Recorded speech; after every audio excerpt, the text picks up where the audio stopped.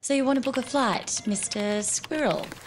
This is a 1st I'll tell you what's a first, my fine non-furry friend. This, Australia's only everyday transaction account that earns me Qantas points. You're out of your tree. nah.